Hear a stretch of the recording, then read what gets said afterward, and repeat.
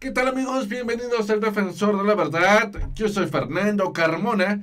Hoy vamos a platicar acerca de las primeras declaraciones con nombres y apellidos de políticos que ha vertido eh, este delincuente, este personaje que fue recién, recientemente aprehendido en esta misma semana y que todo parece indicar que ha señalado a Felipe Calderón y a Vicente Fox eh, como sus socios y además de su plan que era prácticamente sacar a Pemex para poder beneficiar a sus plataformas petroleras.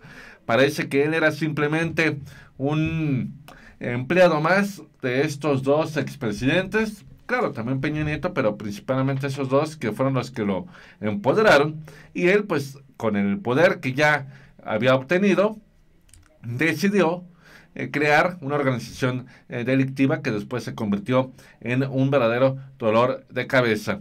Así que vamos a empezar con la información primero que todo.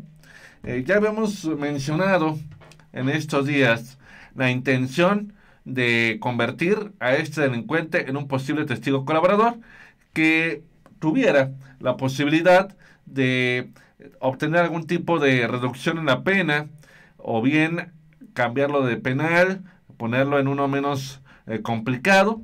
Y dice, el proceso que se va a seguir abre una posibilidad que se convierta en un testigo protegido y que para reducir su pena o tener condiciones carcelarias más favorables, el de los nombres de todos los políticos y autoridades de Guanajuato del Partido Acción Nacional que le brindaron protección.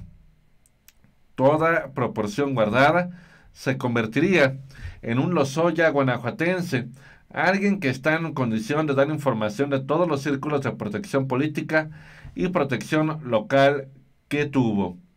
Eh, advirtió que con esta detención no se ha desmantelado la organización, que es la que, la que les estoy aquí comentando en este mismo sentido. Entonces, ahorita Calderón anda muy declarador. en esta misma semana, en estos días, eh, pues criticó un plan del gobierno para poder regresar a clases de una manera ordenada y sin algún tipo de riesgo ante esta situación que estamos viviendo en todo el mundo. Dice, eh, la necesidad de implementar masivamente la educación a distancia es una oportunidad para cambiar hacia Internet de banda ancha para todos los maestros y alumnos. Complicado y costoso, pero sería un cambio estructural de enorme beneficio donde había un avance. En lugar de eso, van a poner televisión.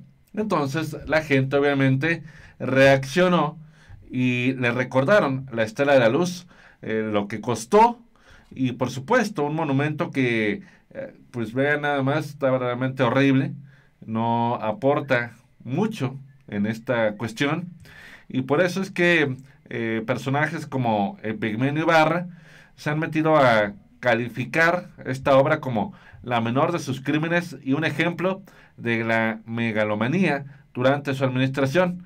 La Estrella de Luz, escandaloso ejemplo de megalomanía, la corrupción y la ineficiencia, a pesar de los más de mil millones de pesos que se dilapidaron en ella, el menor de sus crímenes tiene usted una deuda con esta nación que deberá pagar con cárcel. Y por eso yo creo que han de alguna manera empezado a sonar los nombres, porque es un hecho que desde Fox y Calderón dejaron crecer el tema del huachicol sin ninguna restricción. Entonces, dice Vicente Fox y Calderón beneficiaron este tema en cuyos dos sexenios fueron de prácticamente creció de manera exponencial el robo de combustibles y criticaron al gobierno de México cuando empezaron con el desabasto. Dice, es una vergüenza tanta incapacidad y tanta mentira. El pueblo bueno se va a decepcionar ante tanto engaño. Eso fue lo que puso eh, Fox, quien en 2004 puso en marcha un plan contra el robo de combustible que generó también desabasto en su momento en Chiapas, Tabasco, Campeche y Yucatán. Y además de que eso no mermó para nada el robo de combustible y todo lo contrario, aumentó de gran manera. De hecho, aquí con Calderón según información de Pemex, las tomas clandestinas se multiplicaron dramáticamente. Al finalizar Fox su gobierno, En 2006 se contabilizaron 70, pero en 2007 subieron a 324, en 2008 a 392, en 2009 a 462, 2010 691, ya para el 2011, el penúltimo año de su gobierno, sumaban ya más de mil.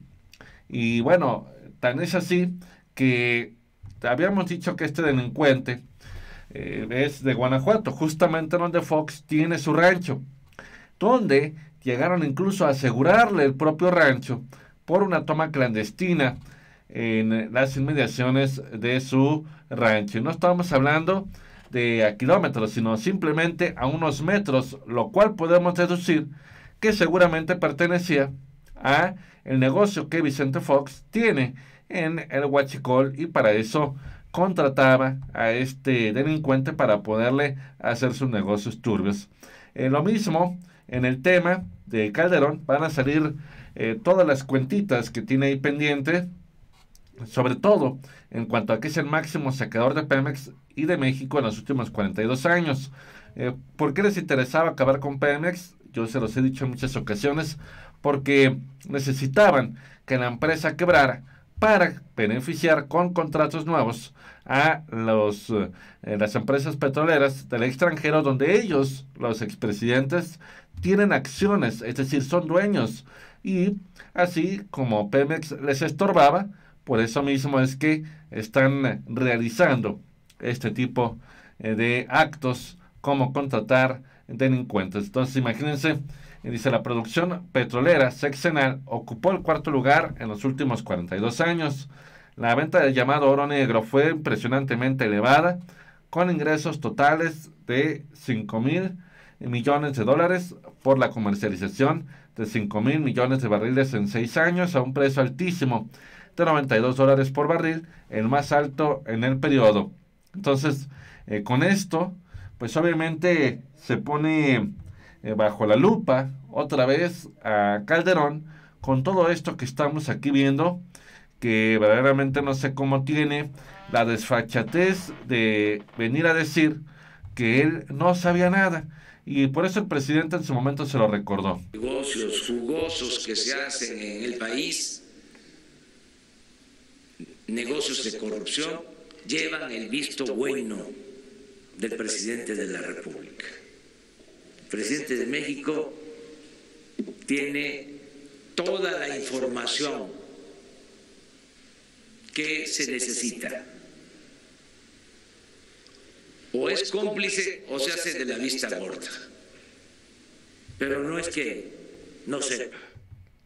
Entonces es claro que, que sabía y tan sabía que por eso está ya muy asustado de alguna manera contratando abogados, ahora que va a hablar Lozoya, porque también lo de Odebrecht le compete a Calderón, y ahora con este delincuente que acaba de ser aprendido, obviamente se va a saber toda la suciedad, todas las cochinadas que hicieron durante tanto tiempo, y ahora eh, ya se quieren hacer las víctimas, quieren desviar la atención a donde nada tiene que ver, como en el caso de Calderón criticando el regreso a clases, que si no es la manera.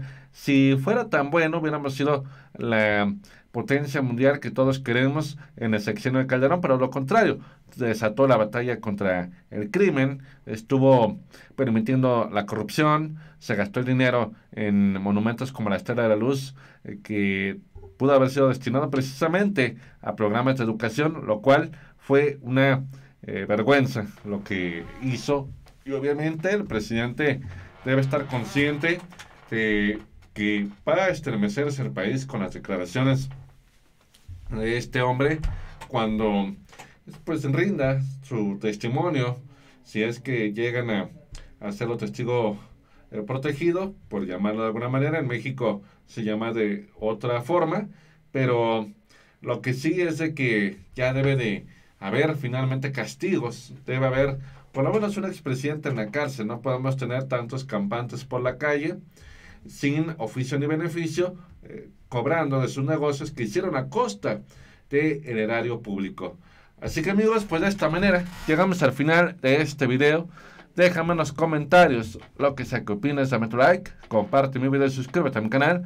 Yo soy Fernando Carmona para Defensor de la Verdad, porque recuerda que la verdad no será libres.